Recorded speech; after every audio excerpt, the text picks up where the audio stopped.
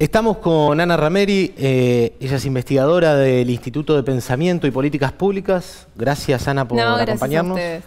Bien, lo que queremos eh, analizar hoy, trabajar un poco es la reforma tributaria, o por lo menos el proyecto, lo que se conoció hasta ahora de reforma tributaria. En principio el gobierno lo presenta como un incentivo eh, en la generación de empleo, un incentivo en, el blanqueo de, capitales o de reinversión de capitales.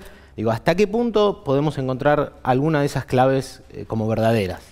Bueno, sí, es verdad. Eh, hay una presentación oficial que, que, retoma algunos puntos de la agenda progresista, si se quiere, por ejemplo, el pago de una alícuota a la renta financiera, eh, tratar el tema de, eh, por ejemplo, los recursos, digamos, los impuestos distorsivos a la actividad económica. ¿no? El, tratamiento de esto hace que la presentación de este paquete de reforma tributaria adquiera cierto carácter progresista, pero que en la práctica, digamos, termina eh, conformándose como un paquete de reformas que busca ampliar la ganancia empresaria, digamos, porque de fondo el diagnóstico es el siguiente, es que si los empresarios tienen más llenos los bolsillos, digamos, tienen más ganancia, se cumple lo que es la teoría del derrame, que es la teoría del manual del buen neoliberal, digamos, y eso se termina este, derramando el conjunto de los sectores populares, aumenta el proceso de inversión,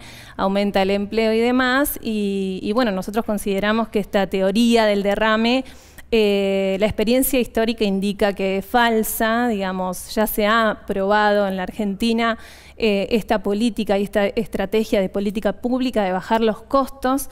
Digamos, por ejemplo, sin ir más lejos, tenemos un punto en común con esta reforma tributaria que tiene que ver con la reducción de las contribuciones patronales para bajar los costos laborales y en los 90 no tuvo ningún efecto en materia de empleo, al contrario. Digamos, luego de la reforma del 94 que se redujo a la mitad las contribuciones patronales, saltó la tasa de desocupación y demás, o sea que eh, no, no observamos eso, por ejemplo. Bien.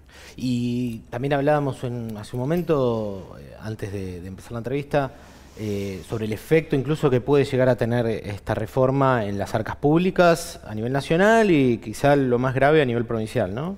Sí, exactamente. Mira, eh, yo te puedo decir que nosotros estuvimos analizando los grandes puntos, es una reforma con distintas aristas, digamos, pero si uno tuviera que, simplificarle, tiene, tiene cuatro grandes ejes. Por un lado, la reducción de los costos laborales, que tiene impacto en el de financiamiento del sistema de seguridad social. Por otro lado, la desgrabación a empresas. Nosotros tenemos hoy una tasa de ganancia del 35% para las utilidades de las personas jurídicas, digamos que pasaría al 25%, luego Duhovne aclaró que llegaría al 35% cuando esa masa de utilidades se distribuye hacia los accionistas, pero uno, si uno se pone a observar lo que pasa en los países, digamos, del primer mundo, que es en donde, a donde ellos quieren apuntar, pasa exactamente al revés. En realidad, para fomentar la inversión, lo que se hace no es desgravar eh, la ganancia de las personas jurídicas, al contrario, estos están en niveles altos, cercanos al 40%, incluso por, por arriba de la tasa que tenemos hoy, y lo que se hace es con un excedente de alícuota que llega eh, incluso a niveles del 60%, se desalienta la distribución de, utilidades a través de grabar a las personas físicas con una alícuota mayor. Entonces decimos, eh, un eje es la reducción de los costos laborales con impacto en el desfinanciamiento de ANSES, perjudicando obviamente en un futuro a los jubilados. Eh, tenemos también eh, la desgrabación a empresas cuando no se tocan las ganancias de personas físicas de mayor capacidad contributiva. Tenemos por otro lado el, tema del avance, pero reducido y tibio a la renta financiera con una alícuota entre el 5 y 15% cuando el esquema de ganancias hoy llegaría hasta el 35%, en realidad si uno tuviera que grabarla en serio.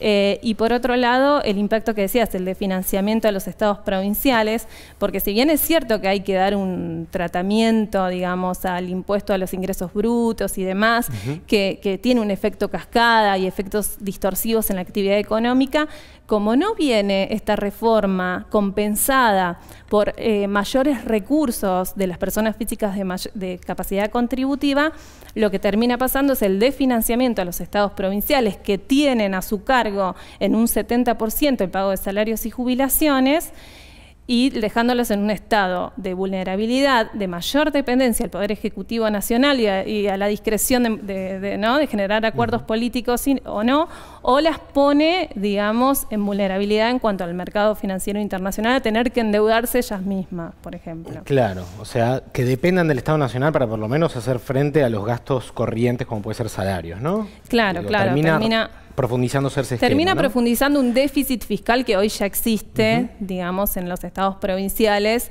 Entonces, bueno, esto me parece que también es una, disputa de poder, ¿no? Digamos, de, poder este, subordinar eh, las voluntades provinciales. Bien, y mm, Justamente eh, hablabas del carácter regresivo, progresivo, ¿no? que a veces suena como algo que, no se entiende, pero tiene que ver con que si es progresivo, paguen más los que más tienen y paguen menos los que menos tienen.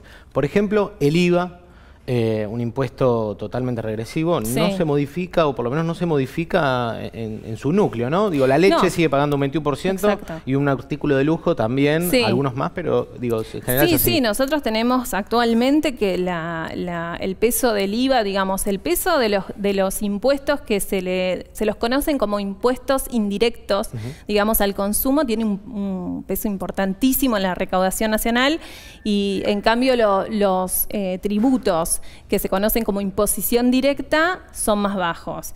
Hay algunos datos que facilita el Banco Mundial, que no creo que sea favorable a la clase popular, es que justamente, mira, la presión tributaria en Argentina es del orden del 12-13%, ¿no? Por ejemplo, yo te decía, en otros países se duplican. Pero la proporción, digamos, de recursos que provienen de ganancia de capital, de utilidades, de renta y demás, es cercano al 15%. Eh, y en, por ejemplo, Estados Unidos, que es tierra del liberalismo económico, el, porcentaje de, impuestos directos a la renta llega al 54%. Claro. O sea, digamos, que, que, nosotros a eso, a eso es lo que llamamos el sesgo regresivo de la carga impositiva, digamos. Claro. Digo, otro tema que no se toca, ¿no? Y, siguiendo con la línea progresivo-regresivo, es el impuesto al salario, ¿no? Digo, no, no, era una promesa de, campaña del gobierno y no se estarían eliminando, que era lo que se prometió en su momento, ni tampoco modificando fuertemente, ¿no? No, no, claro. O sea, eh, te termina quedando un esquema de ganancias en el cual los trabajadores prontamente alcanzan una alícuota del 35% porque no se actualizaron las escalas del impuesto a las ganancias. Eh, tenés un esquema de grandes exenciones para las personas físicas de mayor capacidad contributiva. Había estudios que, incluso desde la misma AFIP, que indicaban que los tramos de mayores ingresos de las personas físicas están grabadas en un 16%. O sea, fíjate vos la inequidad eh, tributaria entre un trabajador con salarios bajos eh, y una persona que vive de rentas y demás que eh, paga el 16% producto del paquete de exenciones que tiene contemplado el impuesto de ganancias hoy y que esta reforma no, no, no, busca, no busca revisar ni nada. Al contrario, lo que hace es desgravar empresas y lo que no dice esta reforma, este paquete de reformas tributarias es todo lo que se podría avanzar y recuperar de, recursos públicos en materia de patrimonio. Nosotros tenemos hoy que 40 familias en la, residentes de la Argentina tienen, totalizan un patrimonio, patrimonio neto de 36 mil millones de dólares. O sea, eh, casi el total de las reservas del Banco Central. ni se piensa en recuperar el impuesto a la herencia derogado por Martínez de Oz. Eh, bienes personales continúa con alícuotas muy bajas y con eh, exenciones que tampoco se piensan revisar. O sea que en sí este, esta reforma tributaria desgrava empresas, deja estancada la situación para los trabajadores, o sea que esa promesa de Macri en campaña no se cumple. Eh, y justamente lo que hace es guardar eh, en un bolsito lejos eh, la pendiente reforma, digamos, al, aumento a los bienes patrimoniales y todo. Eso que en general afecta a sectores pudientes o, de alto poder adquisitivo. Claro. hablabas de, la carga tributaria en Argentina, e incluso tiraste alguna, alguna comparación a nivel internacional. ¿Se presentó esta reforma como, como de avanzada o en vías a, equiparar eh, a otros países del mundo porque supuestamente este es un país demasiado, eh, tiene demasiada presión tributaria. No es así, me estás diciendo, ¿no? no, no, no, no, para nada. Siempre, eh, siempre está la idea de pensar de que nosotros somos los más caros, que tenemos el salario más alto de la Argentina.